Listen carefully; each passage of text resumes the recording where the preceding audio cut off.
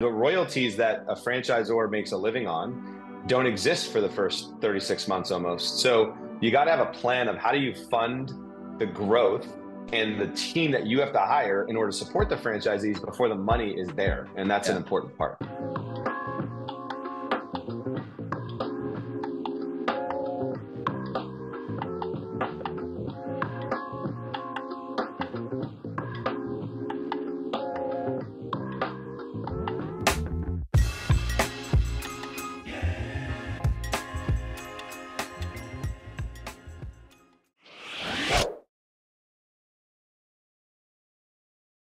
What's up, everyone? Welcome back to another episode of the Path to Freedom podcast. Today, I'm joined by a good friend of mine, Nick Sheehan. Nick is the co-founding, uh, co-founder and managing partner of the Rep'm Group. Um, so this is this is a conversation I've been wanting to have for a while. Um, I work with quite a few brands that are partnered with the Rep'm Group, so I thought it would be cool to have Nick come on, share a little bit about what the Rep'm Group actually is, why you know an up and coming franchise brand or even a more established brand would partner with Rep'm and exactly how they really kind of help to support and and be a strategic partner for the brands that they work with. So with that, Nick, thanks for being here, man. Wes, thanks for having me. Excited to uh, share some insight today with you. Yeah, uh, always learn something when I talk to you. So um, definitely looking forward to to that. Selfishly, but so give us kind of a 30,000 foot view of what Rep'm Group is and, and what you guys do for the brands that you are partnered with. Yeah, so I think uh, 30,000 foot overview of Rep'm would be first off, we're a full franchise development firm. And, and what that really means is we specialize in working with emerging brands. And I categorize that with concepts that are either franchised today and might have 5, 10, 15, 25 locations, or maybe they're not even a franchise today and it's five corporate locations or three corporate locations and we can help them become a franchise in that case. Uh, but i think full franchise development firm is what i found most important thing with Rep'm is simply that those brands need a lot of support if they want to achieve the big goals that they're looking to achieve to become a national brand. And so we work with them from start to finish on helping with brand development number one. Two is the sales process that candidates would need to go through. Yep. Three is construction management. And then the fourth is actually operational support, because those are the four pillars that make a successful franchisor one way or another. And so we created a, a company that helps on all sides of that to make sure that they have a solid foundation essentially to grow into a national brand over the next call it three to five years that they might work with us. Yeah. And that that kind of full franchise development support those four pillars that you just explained is is unique in in the world of franchising. So I want to get into that. I want to unpack each of these four pillars, but before we do that, I think it would be good for the audience to hear a little bit of your background and mm-hmm. you know what you did in franchising before you know starting Rep'm Group because that that obviously plays a lot into you know why you uh, and your partner Rob are even in a position to advise these other brands on what they need to do to successfully become a national brand? Yeah, happy to do so. Um, well, first off, I've done nothing but franchising since I was 23 years old. I know nothing else, and I would probably be not good at anything else. I love franchising and entrepreneurship. Uh, I think I was born to be in that, that world. But um, so I started in college. Um, I just got lucky and met a, a, mentor. I was down in Florida. I went to college at uh, Lynn University, small school. Um, I met a, a, guy that was uh, just teaching classes on the side. He had owned 12 businesses. He was in his 70s. He was worth hundreds of millions of dollars, and he just took a liking to a young kid that had some hustle. Um, yeah. And so started meeting with him weekly. And long story short, um, he had a business idea that came about. It was in the ink and toner recycling business. Mm. And he said, "Hey, if you want to run the run with this with me, I'd love to give you an opportunity to be in business." And so I was 22 at the time. I'm like, "What else am I going to do?" And I did it, and uh, I became a glorified Xerox salesman, as I like to say. I just knocked on doors, door to door, selling ink and toner, yeah, uh, to businesses. But it worked, and it, it grew into a business. And you know, a year later, we had done about a half a million dollars in ink and toner sales, and uh, I had an apartment and I had toner all over my apartment and just delivering in my car. Uh, but it was good, humble beginnings and knocking on doors. I'll tell you, door to door soliciting will give you the thickest skin ever, and it was oh, a great, yeah. valuable lesson for me. Um, so fast forward five years later, we franchised that business. Mm-hmm. It was mm. called Cartridge Depot, real original name. Um, and we we we uh, we sold some franchises. I mean, we got to 35 locations. Uh, I did all the selling of the franchises. I even went out and trained them, and so I just learned all the facets of being a franchisor at a very young age. And it was a great springboard. I, I sold that business in 2012 and I learned that I love entrepreneurship and franchising and I really hated the ink and toner business. So I was glad to be out of it. but but uh, it was a good experience. And um, I moved back to Connecticut or I'm from New York. So I moved to Connecticut and I, I worked with a company that most people know in franchising called The Entrepreneur Source. And I was there for about 14 months as a consultant um, and just learned a lot about some emerging brands. And I met a company called St. Gregory Development Group through that relationship. And these guys were these these new young guys coming out of the gate with the really the one of the first franchise development firms, and they had yeah. repped a brand called Title Boxing Club, and they just blew it up. Um, and they were starting their own brand called CycleBar at the time, and this was 2014. And so I joined them in 2014, and um, you know, it just it, that whole concept just came a rocket ship with emerging brands. And so, you know, fast forward five years later, I was chief development officer at St. Gregory. St. Gregory uh, launched CycleBar, sold it to private equity, sold St. Gregory, and uh, to a man named Anthony Geisler. Um, and Anthony created what is now called Xponential Fitness. And so we we basically did all the selling for all the Xponential brands and other brands uh, at St. Gregory for the first few years of Xponential's existence and then that went in house, obviously, um, and they brought all St. Gregory in house Expo. Uh, and I opted not to do that. I was actually a franchisee of CycleBar as well. I invested yeah. in that with a partner. Uh, I wound up going from one location to 15 locations uh, in seven states, and um, partner and I own that. So I was on the franchisee side too. Uh, and then in you know the end of 19, um, I opted to say, all right, I'm going to start my own thing. Uh, Rob and I came together in January of 2020 and formed what the Rep'm Group is today.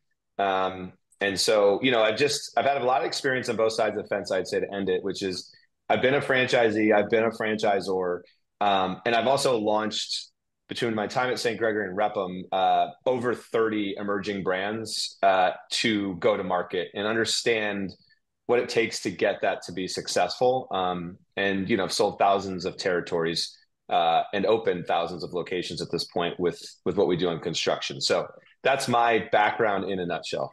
Yeah, well, thanks for for walking us through that because I think it really does set the stage of like, okay, why why would you and Rob and the team that you've built, you know, be such strategic partners? Because you have you've you've sat on both sides of it, franchisor. I mean, literally, you know, built a, a brand starting as a, a pretty young guy, you know, learned learned franchising through a very hands-on approach. You know, you've got the franchisee experience. Um, do you guys still own your CycleBars?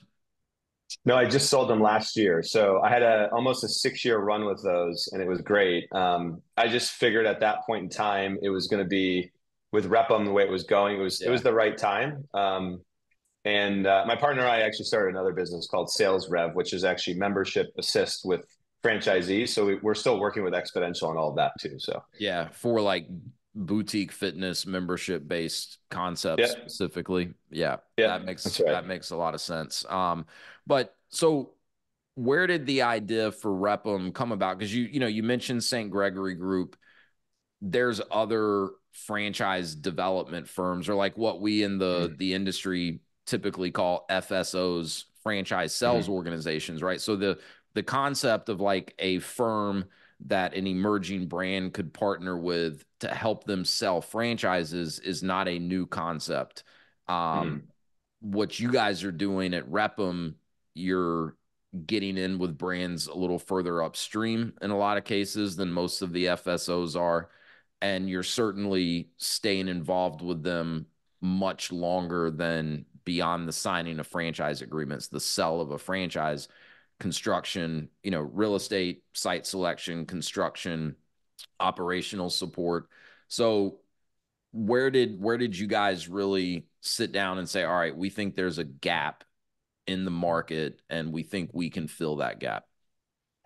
Yeah, well, it was really simple for me. I mean, it, through my tenure in franchising, um, you know, one thing I'd say in a positive way is franchising has become much more sophisticated. Yeah. Now, today, than it was yeah. when I got into it. I mean, it was definitely a little more Wild Wild West style when I got in. Yeah. And what I mean by that, you, you could, you know, you have an emerging franchise that that has, says has a great concept, or they have a great op- opportunity and investment wise and economics and the, the space and industry they're in.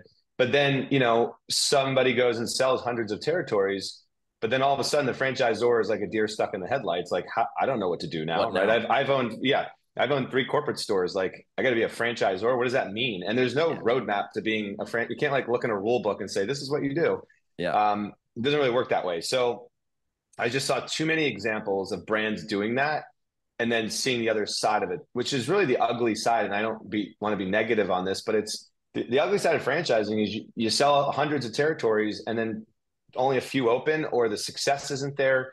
Um, and a lot of it is just preparation on the front end. Like being a franchisor is not easy at all, no matter what you do and how prepared you are.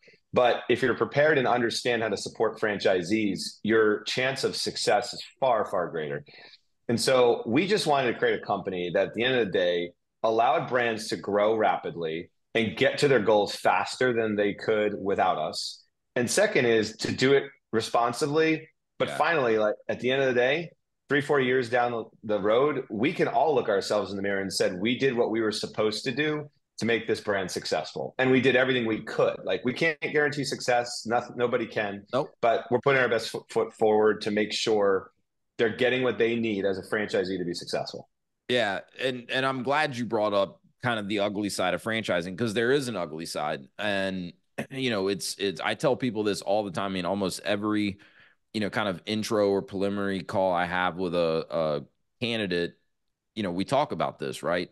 Franchising is no different than anything else in this world, right? There's a lot of mm-hmm. brands out there doing it really well, and it's still not perfect, and it's still going to be challenging, and they still cannot guarantee success for every single franchisee.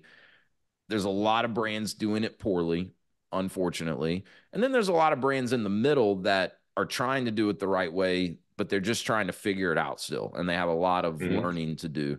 Um, and that's that's where you know someone like a Rep'm can really come in and, and help those brands. Um, so yeah, there's this kind of ugly side I, I, I like that you brought up to the the way that franchising has become more sophisticated because I think, and I'm curious your thoughts on this, right? Because I think sometimes, you know, when like for me, if I'm working with a candidate and you know we get to the point where I'm recommending some brands that I think are a good fit for them, sometimes their perception, you know, if I say, hey, this brand is partnered with this third party to help them sell franchises the the candidate has a little bit of a negative perception of that. I would argue that in most cases it's better because they they the brand has partnered with someone that has an understanding of you know what needs to happen throughout the process for someone to be educated enough to make a decision and mm-hmm. and an actual structured process to do that what what are what are your thoughts or what would you say to the person that's a little bit skeptical of okay, so I'm actually interacting with someone that doesn't work directly for this brand uh you know to learn about this franchise?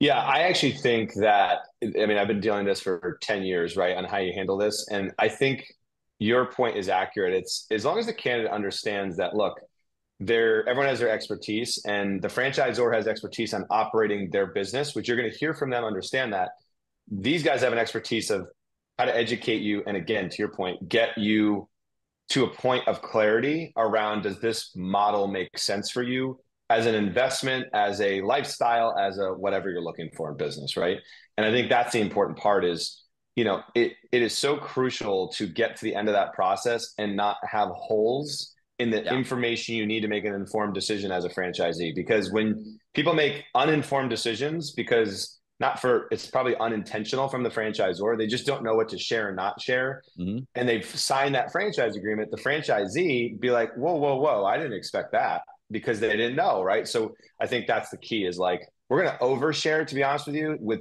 within the legal realms that we can, because that's the way we think you should have access to the information in order to make your informed decision. When it's also just you know a better understanding of like the best way to share that information. Yeah. Right. For example, like you know validating with other franchisees. You know, a lot of emerging brands that are not partnered with someone like Rep'm might just say, cool, here's a list of our franchisees. There's six of them.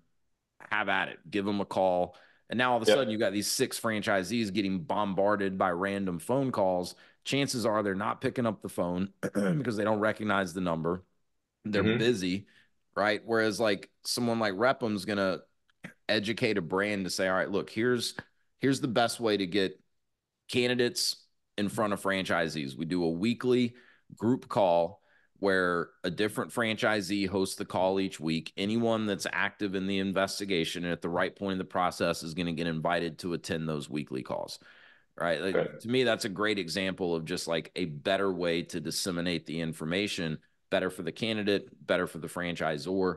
Um, so yeah, I, I think it's it's and, and it's yeah, it's it's not something that, in my opinion, a, a, a candidate should be overly concerned about. Um, but but I appreciate your perspective on that. So let's talk a little bit more about these pillars, right? Because this is where you guys really are different than you know most of the other franchise development or franchise sales organizations out there. So first of all, talk to me a little bit like what does your process look like with a brand before you guys actually sign a deal with them, start helping them market and sell their franchises? What what happens leading up to that?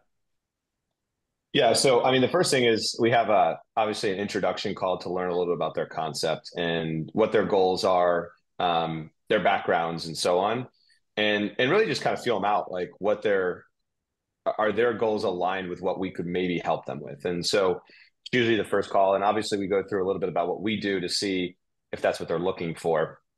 If all that goes well, you know, we'll move into uh, the next phase. We do a deep due diligence uh, around the brand. So the most important thing we can do is select brands that fit the criteria that we know is a winning formula, uh, and we have to be very diligent about that and specific. And if we if we don't, then we can create problems with, fr- frankly, just franchisors that are probably not prepared yeah. for that next phase yet, or maybe they're just you know they're maybe they never will be right. Um, so the things that we look for, the number one thing, forget about the brand economics. If the founders or the leadership team don't align with us, and I have a I have a rule if I feel like I don't think I could go on vacation with these people for two days, I will not be partners with them. This is just a rule I have. Um, yeah, I think it's a good, and, good rule.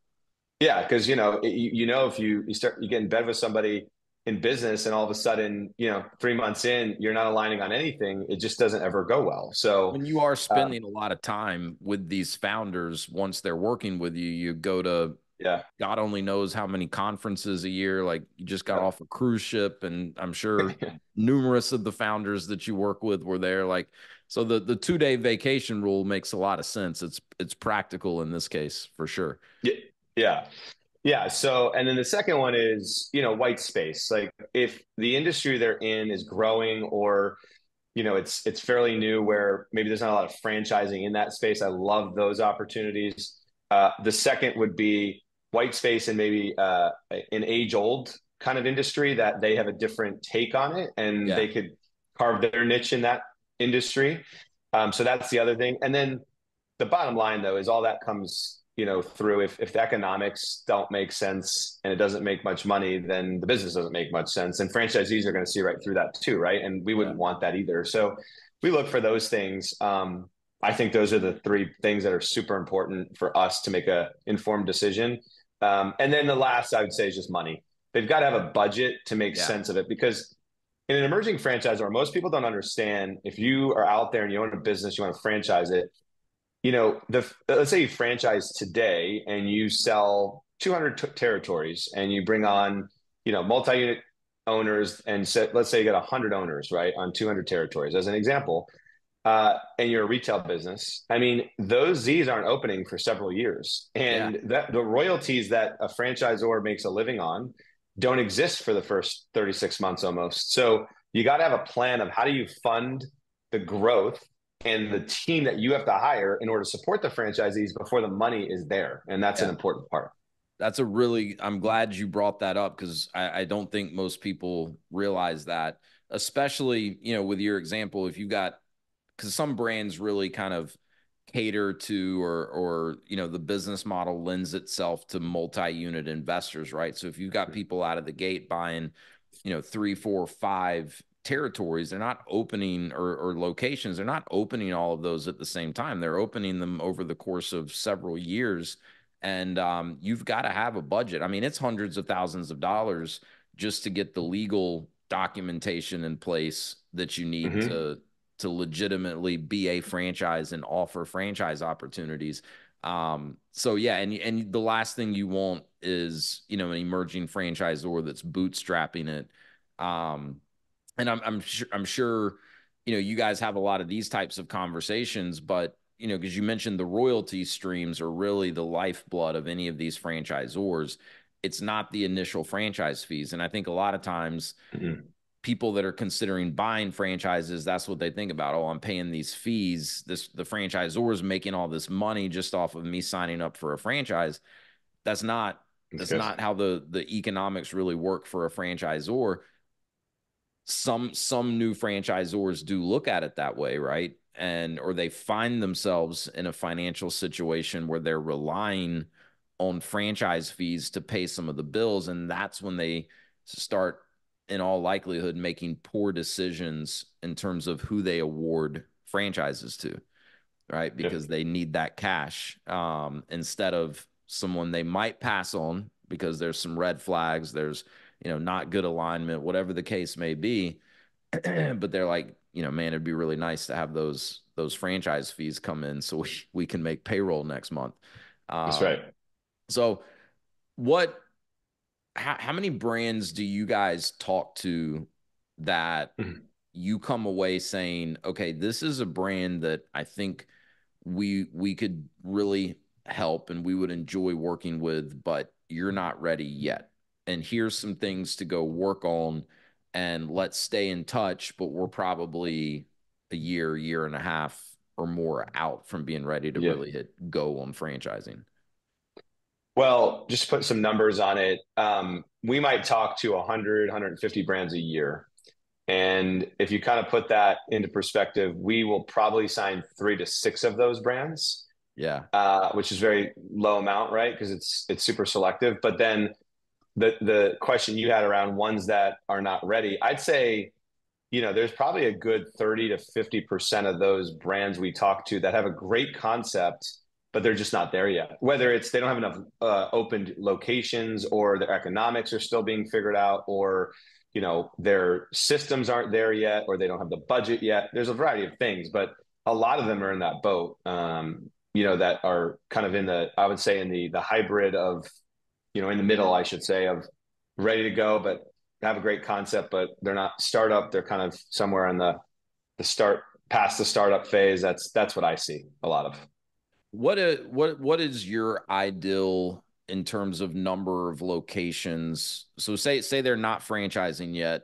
So that so we're not talking franchise locations. Like what's the ideal number of, you know, corporate outlets or company owned locations for them to be ready to start franchising? I'm sure it varies depending on the business, but what's yep. your thought? I, so I'll go minimum first and then ideal. Like they have to have at least two to five locations open for yeah. us to even consider looking at them. Ideally, I'd love to have two to five corporate and like three or four franchised uh, locations. Okay. That that's a, at least. Um, that doesn't really work out that way. Um, if they have ten or fifteen corporate and no franchise, we've done a lot of those concepts. I like that because I can you think know, of usually they, where that that worked out pretty well for you guys. Yeah, yeah, yeah, worked out quite well. Yeah, yeah, yeah, uh, yeah, yeah. Ellie was in that boat for sure. Ellie mental health. Um, but yeah, it it shows usually like they're in different markets. They show different, yeah. you know, opportunities. Work in Iowa and New York City as an example of two totally polar different opposite markets. Um, yeah. So yeah. So and I was gonna ask like if you have a personal preference of partnering with a brand that's already franchised and has at least a handful of franchisees, or would you rather kind of like a blank canvas where you can come in and and without any franchisees in in place yet take them into franchising and grow it? I think you kind of touched on that. So let's talk a little bit about so that's kind of the work that that happens on the front end branding's part of it too right so how often mm-hmm. are you guys recommending that the the brands you do end up partnering with do some sort of a rebrand is that pretty common not rebrand but um, i would say enhance the branding and enhance okay. the offering okay and sometimes it's not even that it's just getting it clear messaging wise so that everyone that's talking about the brand is singing the same tune. And what that means is we go through an exercise up front and we call it our OGSM exercise, a two day exercise. And what we're going through is the branding exercise uh, that's called objectives, goals, strategies, and measures. And it's really taking the brand, what it is today, and peeling back layer by layer of that onion and understanding what the brand DNA is and paying homage to what that will be once we get the messaging right. It may be right already today, but at least if it is right, we've uncovered that it is. If it isn't and it's not clear, this exercise will get them to a point of clarity around that. But it also helps us, aside from the brand. And it, by the way, the messaging is always on on both sides. What a franchisee would hear when they're talking to us, but it's also on the consumer side, whatever that franchise or is selling Yes. It's also what's the message to the, the customer that's buying the product or service. And so if you have all that clear, it makes it a lot easier for us to our job to present it to a candidate that's interested in this concept because everyone again is clear on what that is. And so it helps us build our sales process. It helps us build the brand equity uh, around what this means for, from a brand perspective. So we, we spend a lot of time on that up front um, because it's super necessary to do it the right way. Well, and, and something that a lot of because look, most of these most of these brands that you know end up turning into national franchises that you guys would partner with the founders did not necessarily set out with the intention to franchise the business and grow it into a national brand so Correct. I'm sure a lot of them come to you and they do need a lot of polishing around the branding and the messaging and stuff because you know whenever they started the business however long ago it was it was nothing more than an idea to start a local business to support themselves through right? That's right. so right. it's good to hear that you guys put as much time and emphasis and, and have you know what sounds like some really good systems in place for the brands that you work with to get some clarity on this because it is going to help with the sales process. It's going to help you attract the right type of candidates for the brand. It's going to um, obviously on the the sales and marketing side for the franchisees you know the correct messaging to the customers. Um,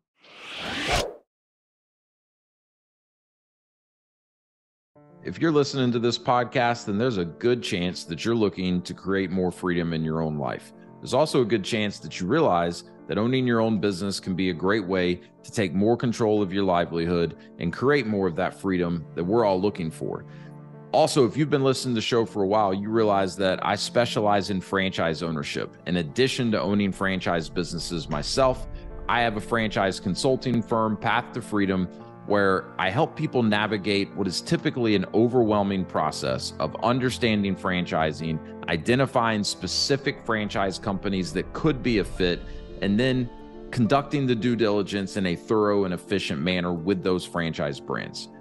My whole purpose here is to leverage my experience working for franchisors, owning franchises myself, and how we've been able to use that to create more freedom in our lives and help you determine if that could be a path that makes sense for you as well. So, if any of this sounds interesting, if you've considered business ownership in the past, whether you've explored franchising specifically or not, I'd love to connect with you. I'd love to learn more about you and what it is that you're working towards in your life and determine if I may be in a position to help.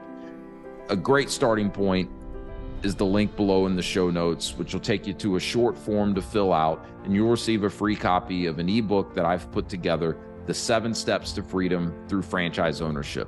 That'll also get us connected, and I'd love to set up an introductory call where I can explain a little bit more about the process that I use to help people determine if franchise ownership could be a great way to start charting their own path to freedom. So click the link below in the show notes, receive the ebook, and let's get connected. I'd love to hear from you.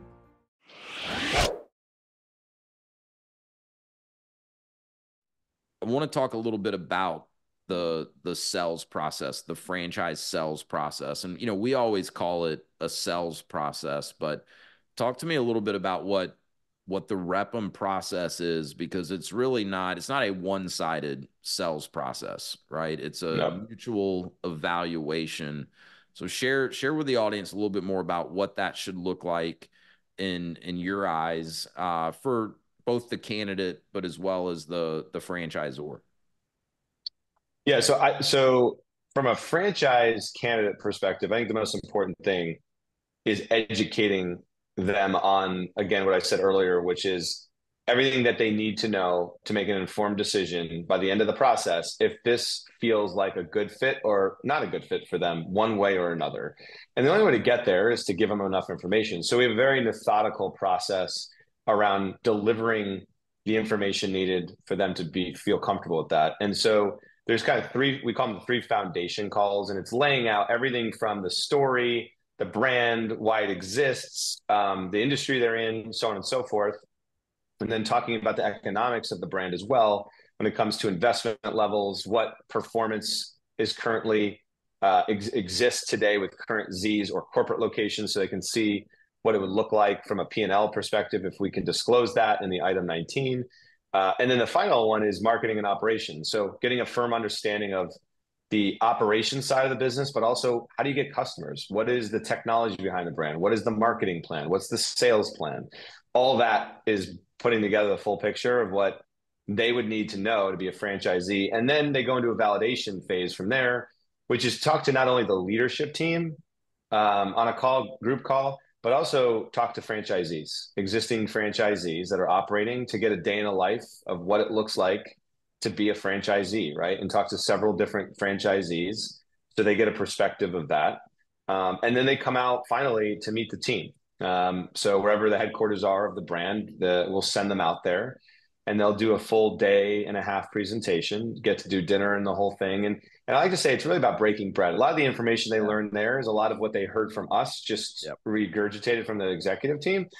Um, but it's more about like do they align culturally with this company and vice versa on the franchise or side it's being able to evaluate are these potential candidates going to be a good fit for them and that's really simple in my eyes it's are they going to be a good fit partner and the way that you evaluate that and i think anybody would say a good franchisee is, the what, what makes up a good franchisee is willingness to be coachable and actually just follow a system and then the other side of it is execution and hard work. Like there's no business out there that you're going to go and take hit the easy button and you're just going to come a millionaire overnight. It doesn't happen. Nope. Right? You got to take the stairs up every time.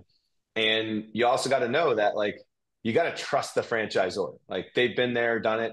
So if they say go down Main Street and you go down Wall Street, it's your fault because you went down Wall Street to a dead end, right? You don't want to do that. So that's what I, I think are the important things.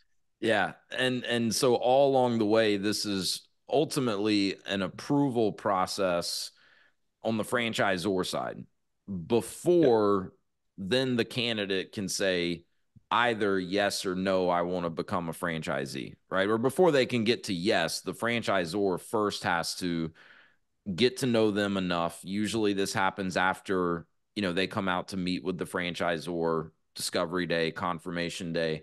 Um, the franchisor is going to say okay you're approved, right? And so, th- like, what I tell all of my candidates that I work with is like, look, you know, you you're going through this process. You're learning about the business. You're learning about the franchise or the people behind the brand to decide if you think they're a good business partner for you. They're looking at you exactly the same way, and you want to make sure that you keep yourself in the driver's seat so that ultimately the decision lies with you. Don't give the franchisor a reason to make the decision for you which would be them saying you're not approved. We don't think you're a good fit for us. And I agree with you. It's not rocket science, right? Most of these franchisors are not looking for franchisees that are experienced in their industry or highly knowledgeable in whatever the the product or the service may be they're looking for general skill sets are they going to be easy to work with are they going to be almost like the mm-hmm. vacation rule right is this someone that i yeah. would want to actually spend some time with are they going to follow the process are they going to be coachable um, there's you know usually general skill sets they're looking for depending on the business do they have experience building and managing teams some of these franchises are more sales intensive than others. I mean, that that piece can vary, but generally speaking, it's not all that difficult for a brand to really say, all right, we feel like this is someone we want to partner with or or no, it's not. So I'm curious for you, like how much coaching do you have to do with especially some of your really emerging brands on when they should say no to someone and and why? Because I, I imagine it's very tempting you know, you got mm-hmm. one franchisee, you have three people come out for confirmation day, two of them are really not the right fit. Very tempting to be like, everyone's approved, let's roll. So it's interesting. Um, I would a fair amount of coaching, but I learned this lesson from uh, Jason Ryan, who's one of our, our third partner, and he uh, he worked at Driven Brands, and uh, you know, Maaco Meineke and uh, the founder, Tony Martino, who's now passed. Uh, Jason was, um, he became president of that. But one day when he was on the ops side, still not president, uh, there was a, a, discovery day and there were some candidates that came through. And the candidate that uh, Jason, for some reason, didn't vibe with this guy. And, and he just was like, I- I'm not going to approve him. And Tony turned to him and said, who are you, God? Who are you to say this guy will not do well in our system? And who made you the person that doesn't give this guy an opportunity to prove himself that he can work and do well in this business? And Jason turned and said, okay. So, long story short, and this is a, a, a good story because they're not all this way. That guy joined the system and he's the number one performing location in all of Maaco. Um, and so I tell you that story because I always find it's so hard to make that determination and who's going to be successful and who's not at that junction. You can have a gut feel, but I've learned in you know awarding thousands of franchises that there's so many people that will surprise you, and it's not a, it's not that far off from like if you were in a business you hired ten salespeople, and they all have a very, a very similar background. They meet the criteria, and you hire all ten. You you know that not all ten are going to be your number one guy or gal. There's going to be the bottom performers, and so you know that's how I look at it from a, approval. But franchisor, I'd say we, I think because of the way we vet our candidates, by the time they get to Discovery Day, you know there are very few that would be completely disapproved, and and the reason they would be is because they really showed some colors uh, that yeah. were not not good when they were at those decision days. Yeah, no doubt. the The process is designed to weed out the people that are not a good fit well before they get on a plane and and come to Discovery Day. But no, I'm glad you brought that story up because you know when I worked for franchisors in development, I can remember having conversations post Discovery Day with CEOs, one of which is is working, you know, with you guys now on a new brand, Alan Young. And yeah. and Alan had similar thoughts in some cases where, you know, our gut was kind of saying, you know what, we don't think this person's the right fit. But look, if they want to hmm. if they want to come in and try to prove themselves, who are we to not give them that opportunity? And and you see you get surprises on both sides, right? I mean, I know totally. franchisees that you know, it was a no brainer. This person's going to be a rock star. They're going to crush it. And, you know, they were mediocre at best once they got in. And then, well, you know, on the other side of that, too, people you weren't all that optimistic about, and they're rock stars. Yeah, well, the other side is I think there's a, a responsibility on the franchisor side, and this is just my philosophy. It's but it's it's it's like be better, be better as a franchisor. That the average person who has no business experience, been in corporate America for 20 years, who really wants this, let them come in and you be better as a franchisor to give them what they need to be successful. Be a better coach, be a better leader. That's what's going to get them to be successful because if you look at all systems out there, and I've done this over and over again, some of the most successful brands that I've seen, I analyze kind of like who's their franchisees versus brands that maybe aren't as successful. And I look at this example exactly. There was an attorney that owns, I won't name the brand, but owns five locations of a brand that's very successful.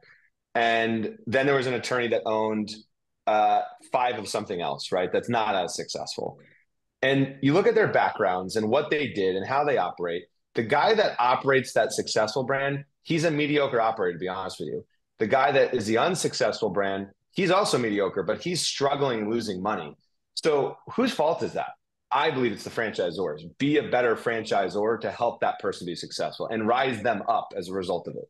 Yeah. And and you know, make steady forward progress year over year, right? Because you know, a lot of the brands that you're partnering with early on, even with your guidance and your expertise, they're not going to be as good of a franchisor in year one as they could be in year five, in year six, right. and so forth. So, you know, it's not that you have to get perfect overnight and, and you'll never be perfect as a franchisor, but yeah, constantly be focusing on, you know, where do we have opportunity to get better as a franchisor to to really support our franchisees. And I think that's kind of a good, you know, litmus test for that, right? Is like, can we take the kind of average person, no business ownership experience, plug them into our system. And as long as they're willing to put in the work and the effort and and follow the system, their chances of being successful are very, very high. Um, so real estate is kind of the next big thing that you guys focus on. Now, this applies to some of your brands uh more so than others right some of your brands mm-hmm. there's there's not a real estate component so obviously the franchisees don't need support in that area. Why why is this such a critical part of you know support especially for an emerging brand and and franchisees joining an emerging brand? Well, I would say the construction process before they open is one of the hardest and most challenging parts of this whole process because again, most franchisees don't have experience in in building out anything, right? Maybe they've built a house in their life, maybe, right? Um, but there's very few people that are like, yeah, I'm an expert in construction management, right? And if anyone's gone through it, and I have, like renovating anything is never smooth sailing, ever, right? And it, it's just a constant, like bang your head against the wall kind of scenario. And so we just felt like we needed to thread the needle for franchisors again and franchisees to say, focus on what's most important. You sign a franchise agreement. Now it's like you need to start focusing on who you're hiring, how you're going out and marketing your business before you even open, being proactive so that when you do open your doors, you have a better chance for success quicker because you were very well prepared for it versus chasing a plumber or chasing a GC that didn't show up today and worrying about the wall isn't the way we wanted it. Those things are all important. Don't get me wrong. But if that that will happen one way or another if we do it.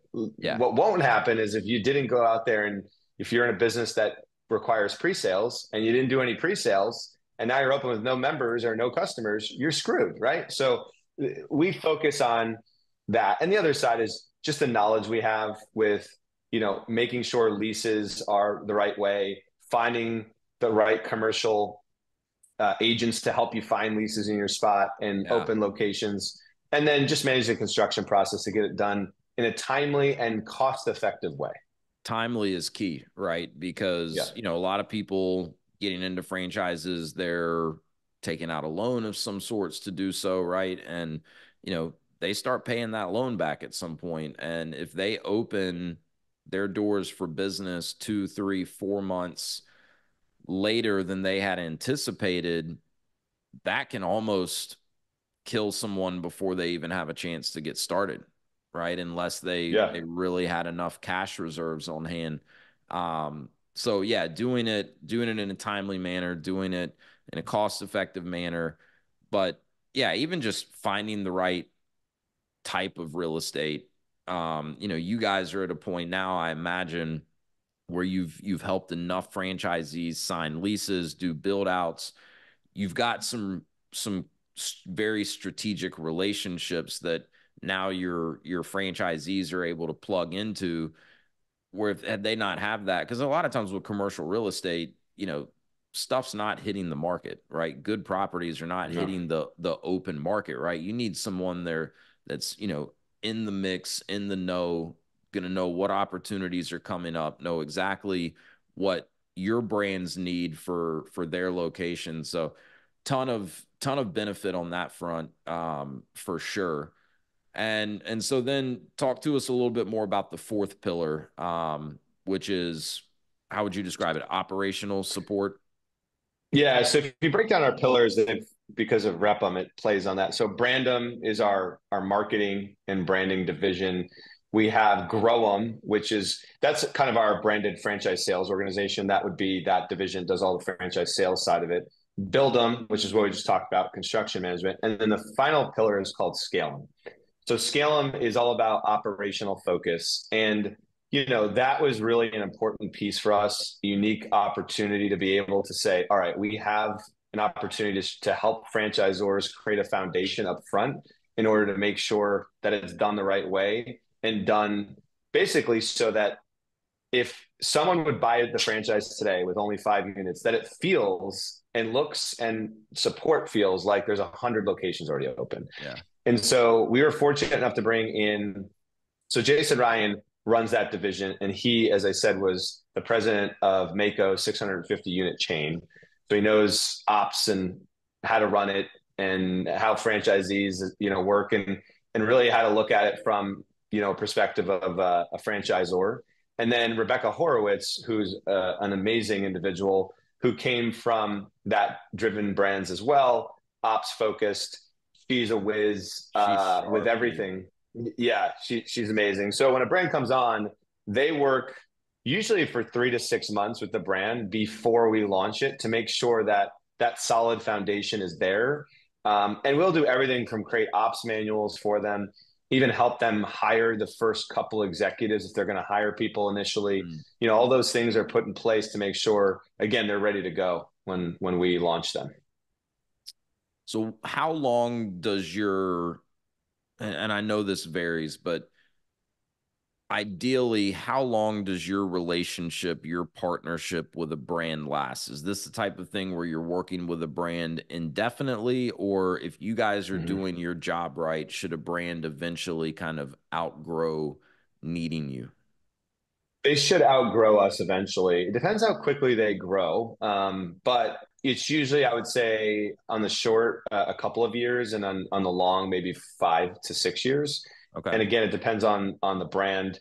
Uh, the best example I can give you that it kind of just happened with is Ellie Mental Health. I mean, Ellie went on a really fast track for growth. I mean, I think we we awarded 600 plus territories in two years, and they opened over 250. And you know, they they had some private money come in with private equity, help them grow infrastructure wise. And at the end of this past year, we we um, parted ways in a in a very good way because yeah. it was time for them to grow into their own self themselves now. And they they grew up out of the adolescent phase. I like to say they're grown ups yeah. now and they understand yeah. franchising, and and that was great for them to be able to do that. Yeah, and and Ellie's another good example of where, you know, and, and we don't know how Ellie would have played out had they not partnered with you guys. But we've seen examples in the past of other brands that, you know, right time, right space, get a ton of mm-hmm. attention, a lot of excitement around it. They sell a ton of units and then they mm-hmm. can't open them. Yep. And that's, yeah, exactly. That's devastating to the brand. It's even more devastating to the franchisees that invested into the brand. But, you know, Ellie, you said what opened 250 some units already in in what like a 12 month period or 18 month period? Like yeah it's crazy. Yep. that's that's following through on what was promised. Um and and a pretty tall task when you sell that many units. So they're executing right? And you got to think that them them partnering with Rep'm, having the support, the guidance, the relationships that you guys were able to bring to the table is a big, big part of why they were able to execute that way. So, you know, these things are super important. And and I just think that, you know, many people out there that are considering franchise ownership, they're not aware of some of these nuances, right? If they're looking online, you know, what brands should I be looking at? A lot of the decision making stems from you know what's the product or the service does the brand look you know sexy or not how good of a digital mm-hmm. marketing strategy or how much money are they putting behind pay per click to you know make their ads show up not every brand is is created equally out there and not every no. brand is you know doing the same things behind the scenes to make sure that you know they're really supporting their franchisees the the way they should be and that the foundation is solid you know to keep building off of. And so you know one of the things i i tell you know anyone i work with you know especially if we end up you know putting some emerging brands on the table because look in most people's eyes an emerging brand's gonna gonna seem far more risky right than yeah yeah for sure. been around for 15 20 years and and has a track record. But very hard to find good territory in a lot of markets for the more established brands. There's there's a lot of things that could be appealing about getting in early with an emerging brand. So you know one of the things i always look at is you know were the founders smart enough to realize that you know they haven't done this franchise thing before so they need to go partner with someone that has. And you know that's exactly what what you guys do with the brands that you partner with. So in a lot of ways you're almost getting the best of both worlds you know all the benefits that come with an emerging brand but a lot of experience a lot of guidance um you know a lot of support along the way so um last thing I, I know we're kind of coming up on time here but one other thing I was curious and wanted to pick your brain about, like, what do you guys look for? I know you talked a little bit already about, you know, white space, but what do you look for? And, and it may be nothing. It may just be, hey, we're just focused on, you know, partnering with great brands. But do you have any goals around kind of the the mix of brands that you work with right in other words like hey we've yeah. got brands in this industry and this industry but man we'd really like to have a brand in this industry over here um how do you think about that yeah so there's always the uh, i would say the ones that we've worked on over the years industry wise that we continue to because we we know the industry well it's a strong industry and we continue to to invest in that the first one is fitness i mean i've been in fitness forever I think fitness has shifted a lot uh, post COVID, mm. and I think it's it's on the up upward trajectory again in, in certain uh, certain parts of it, yeah, um, and certain modalities. So we'll always look at uh, opportunities that are unique in the fitness space. Um, health and wellness, uh, we love health and wellness. That's a, a, very much a growing trend, as we all know. There's uh, from anything from recovery to better mind body, all those things. Um, so we look for great opportunities in that space. Um, I love beauty been in beauty a long time, depending on again where where that is. But that's a, a spot that we always look to go in. And then we also invest in home service brands. So I like unique home service concepts that have a niche that isn't, um, you know, like for example, has uh, 15 different franchisors already in that space. Yeah. Um, and we, we typically do hire uh, or focus on the higher end versions of home service, whatever the product is that they're offering. We do like the a little bit more, I'll say, sexy type brands around that. Yeah. Um, and then we've dabbled a little bit. Like a new brand we have is the Milkshake Factory, and we've really not dabbled in food. Um, and I like to say we do food light now, which is yeah.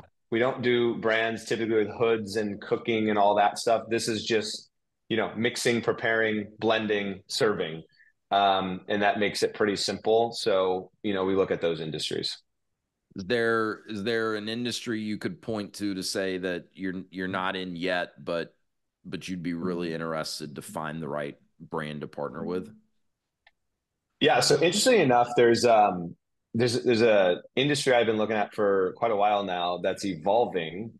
Um, two of them I'll say. One is I love this new trend of the tattoo removal and and then there's ones that are doing temporary tattoos that are like three four months and then they go away and that's becoming a huge trend that i'm seeing with like high-end boutique tattoo parlors not the ones that you think of that you see on movies that are in like some shady town area that no one wants to go to right yeah um, that's one and then that's two cool.